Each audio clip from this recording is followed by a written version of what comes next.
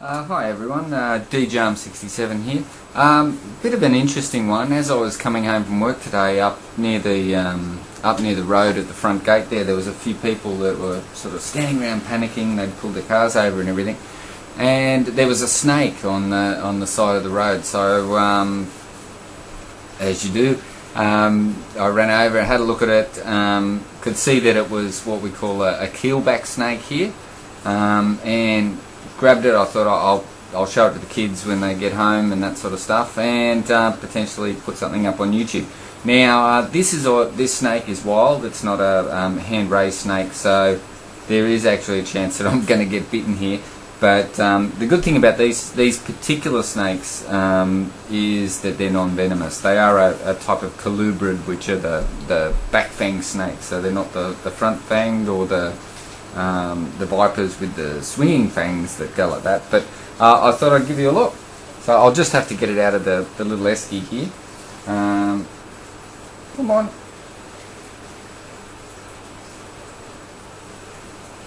He's resisting a little bit. But these are these are beautiful little snakes. And I'll show you this one. Now, here we go. Now this I don't know if you can see that very well or not. But, um, yeah. Well, you see his little tongue going off? Oh, he's sniffing me. He's probably going to bite me here. Uh, he's checking out my hand. No.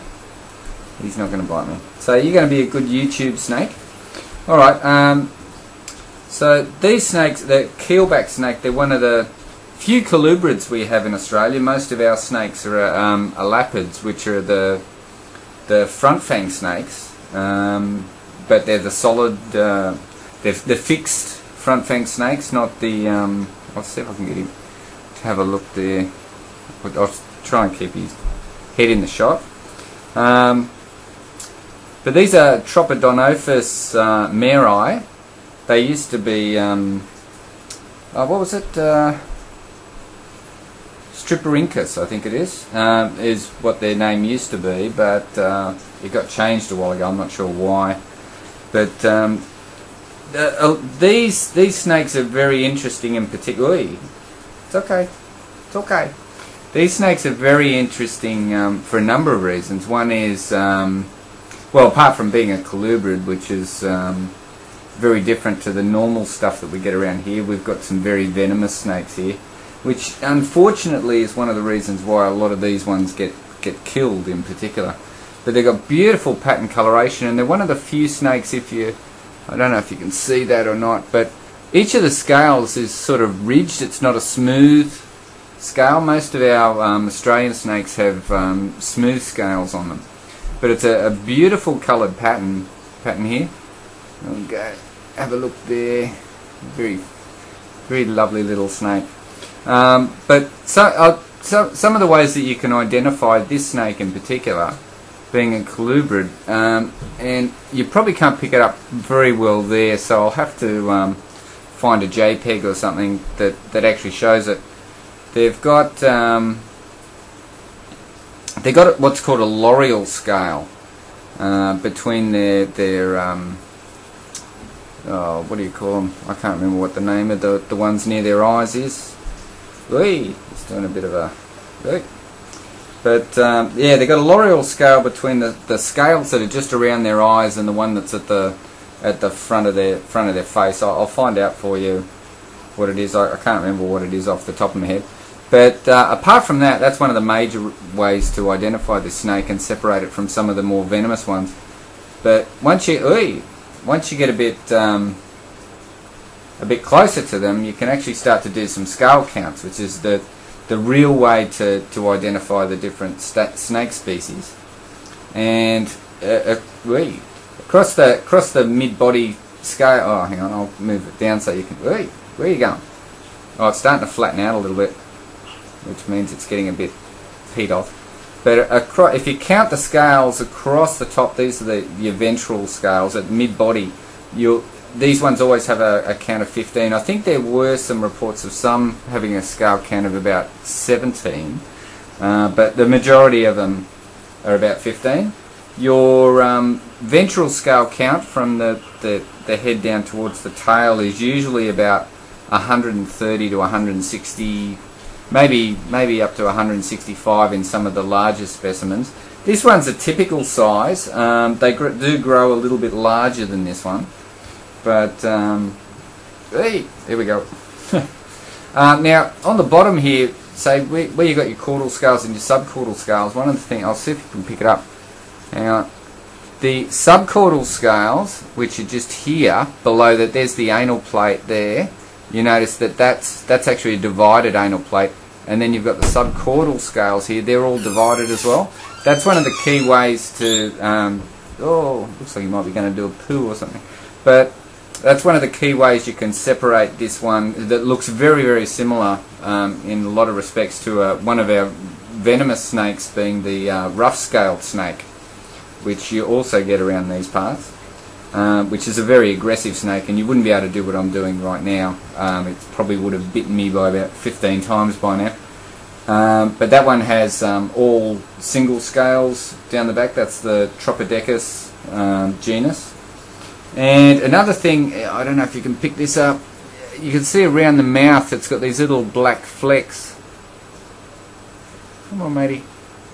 On, on the lip, uh, the uh, rough-scaled snake doesn't have that, but um, just uh, if you see a snake like this, obviously don't pick it up unless unless you you've um, had an opportunity to to meet a, a, reasonable number of snakes in the, the general area, uh, because it does look a lot like some of the venomous snakes. It also looks like uh, one of the smaller a smaller, like a juvenile taipan, um, which we also get in this area.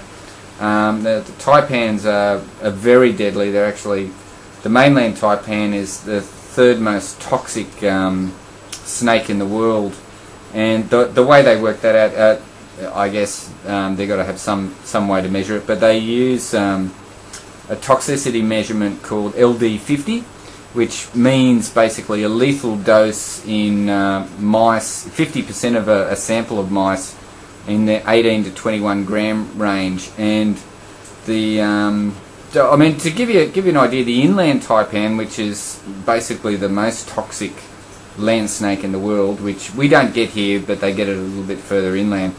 Um, it has a an LD50 of um, 0.025 milligrams per kilogram of mice. So basically, um, the average size bite um, of one of those will have a 50% chance of killing a rodent that weighs around about half a ton. So it's it's quite quite toxic by by those standards. And say to compare it to something like the um, the eastern diamondback rattlesnake, which has um, an LD50 of around about I think it's about 11.3, 11.4 milligrams. So that's around about 450, about 450 times um, more toxic than, than what your eastern diamondback rattlesnake is. But that's not this one. Uh, they're often killed because for some reason people call them a swamp tiger. You can see it's sort of got got a stripy pattern.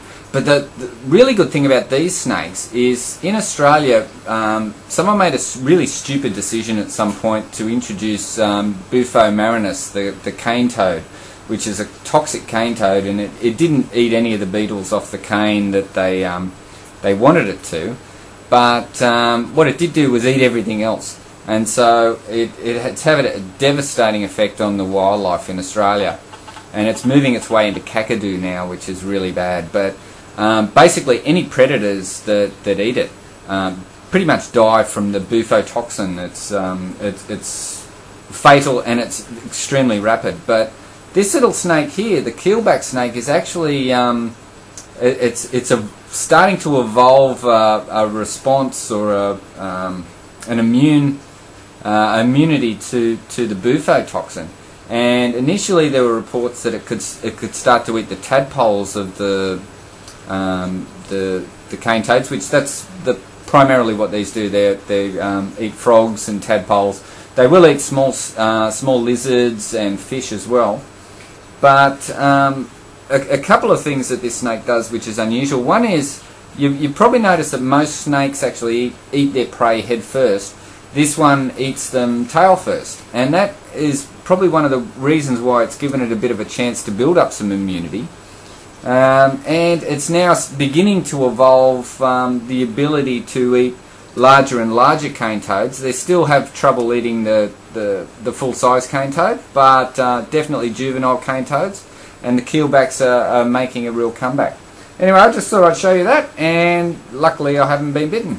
Alright, ta!